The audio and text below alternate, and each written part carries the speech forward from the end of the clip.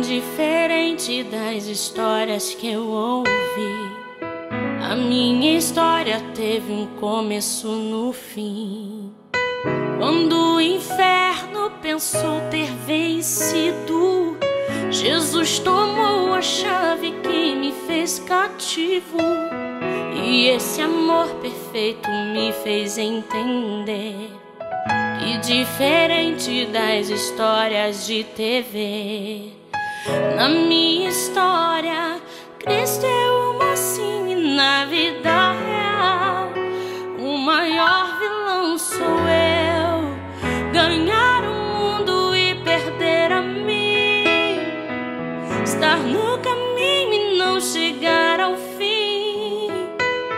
Na minha luta do meu eu contra mim mesmo, os meus gigantes são os meus próprios desejos que sai contamina mais do que entrou.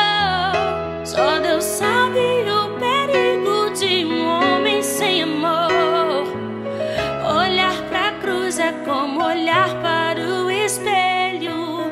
Reflete a glória que revela os meus defeitos na vida real. O maior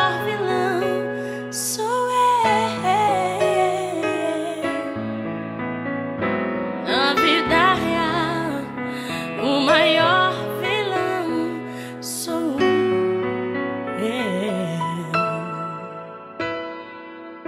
E esse amor perfeito me fez entender que diferente das